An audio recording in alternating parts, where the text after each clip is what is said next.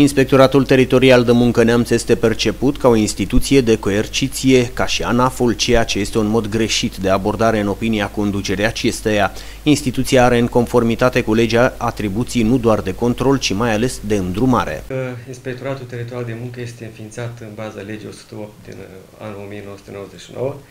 care este legea de înființare a, și organizare a Inspecției Muncii. Uh, această lege uh, ne dă nouă ca principală atribuție aceea de control.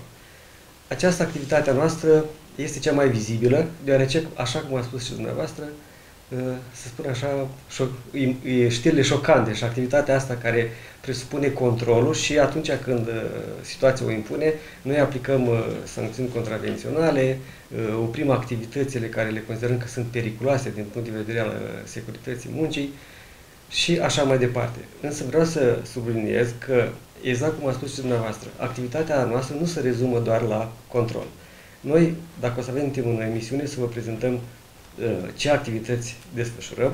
care au ca obiect aceea de a sprijini uh, angajatorii uh, în activitățile care le desfășoară, în așa fel încât să nu încalce legislația pe care noi o controlăm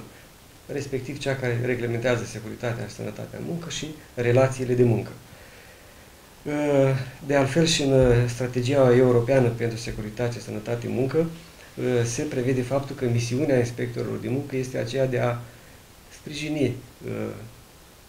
angajatorii,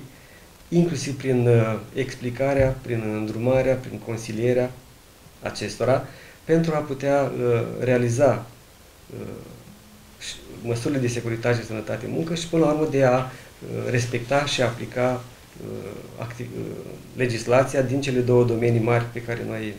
ne desfășurăm activitatea. Inspectoratul Teritorial de Muncă Neamț dispune de 26 de inspectori de muncă, ce lucrează în mai multe compartimente ale instituției, axându-se pe controlul legalității documentelor de muncă. Deci, în cadrul Inspectoratului Teritorial de Muncă avem un număr de 26 de inspectori de muncă, care sunt împărțiți pe compartimentele control, serviciul control relații de muncă, serviciul control securitate, sănătate în muncă, cât și serviciul supra, uh, compartimentul supraveghere piață. Ei au atribuțiile stabilite prin uh, legea 108 pe 1999, cât și prin hotărârea de guvern 1377 pe 2009 privind regulamentul de organizare și funcționare a inspecției muncii, cât și a inspectoratul teritorial de muncă. Au uh, competențe cum v-am spus, în domeniul relațiilor de muncă, în domeniul securității sănătății în muncă, supravegherea pieții. Aceștia controlează modul în care sunt încheiate contractele de muncă, executate, încetate contractele de muncă, uh, regimul zilierilor, uh,